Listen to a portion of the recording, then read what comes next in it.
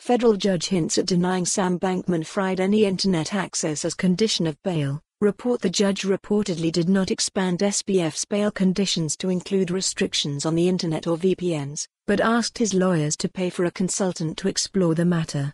News own this piece of history collect this article as ANF Judge Lewis Kaplan reportedly targeted Sam Bankman-Fried's internet usage in a hearing aimed at reviewing the former FTX chief executive officer use of a virtual private network, or VPN according to a February 16 tweet from NPR correspondent David Gura. Judge Kaplan may have suggested that Bankman-Fried be denied access to any electronic device and the internet as a condition of his bail.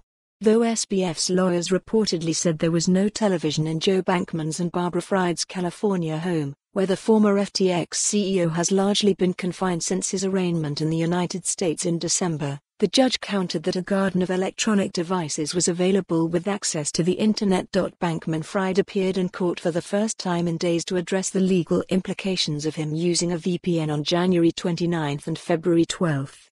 SBF's lawyers claimed he had been watching football on the days in question, but prosecutors said using a VPN raised several potential concerns. Prosecutors suggested restricting Bankman Fried's VPN usage as a condition of his bail, as they have with certain messaging apps and contact with current or former FTX and Alameda Research employees. Judge follow the URL for the full article for more on this story, visit the news article link.